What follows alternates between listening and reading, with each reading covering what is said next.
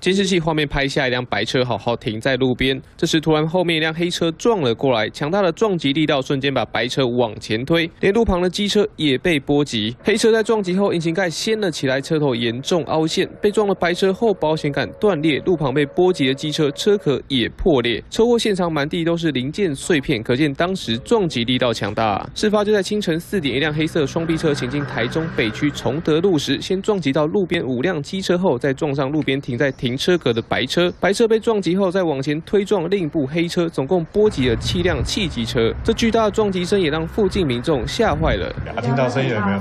就想说什么地震之类啊，还是什么东西倒塌吧，真的有点吓到。因为刚好在门口。